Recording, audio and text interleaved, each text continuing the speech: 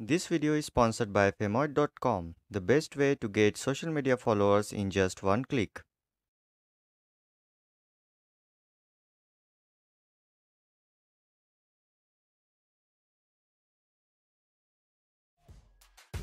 Open Google Play Store.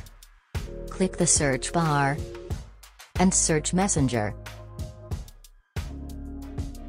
Click on the first result, or check the video description for the direct link. Install or update the app to the latest version.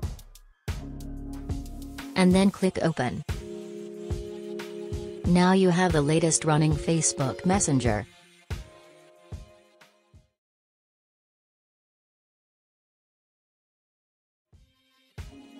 Open your favorite web browser. Click on the address bar and go to apkpure.com. Click the search button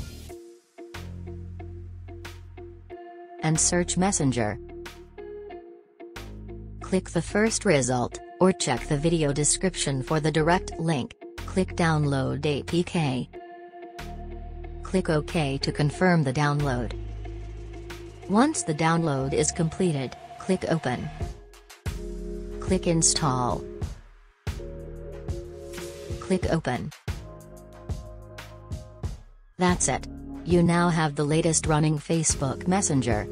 So, this is all in this video. Please do like and share. Subscribe to our channel to see the upcoming videos. Thanks for watching.